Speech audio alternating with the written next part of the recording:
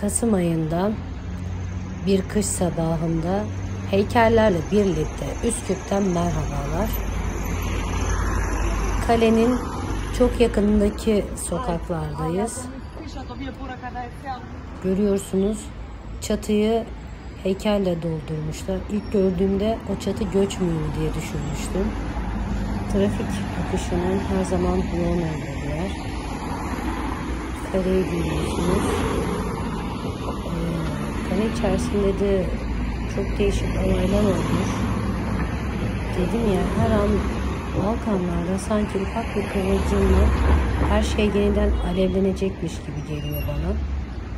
Hatta biliyorsunuz Bosna Hersek'te bu aylarda yine bir takım karışıklıklar var.